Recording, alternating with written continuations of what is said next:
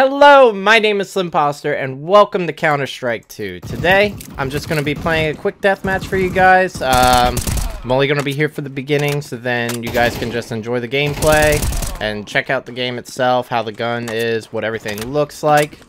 Uh, so, if you guys want to see more Counter-Strike 2 gameplay, go ahead and subscribe to the channel or comment down below. Give me your thoughts on the game. There's a lot of different mechanics, a lot of different sounds, and everything just looks really different uh, and feels different. I would definitely say that. So, just tell me what you guys think and subscribe to the channel if you want to see more. I'll see you guys in the next video.